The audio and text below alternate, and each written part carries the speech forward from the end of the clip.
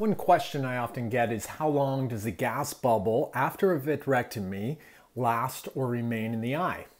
With our renters, here is our experience. Number one, if it's a macular hole surgery, a short acting gas is often used and the gas bubble will dissipate or be gone within uh, two weeks. On the other side is the retinal detachment, which I had.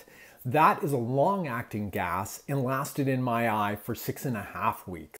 I want to note that if our renters smoke or are diabetics or they have other metabolic issues, the length of time in which the bubble is in the eye could be a lot longer.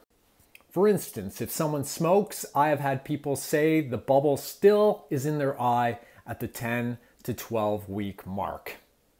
Do your best to continue to be patient as you walk through this journey, remembering your protocol is most important.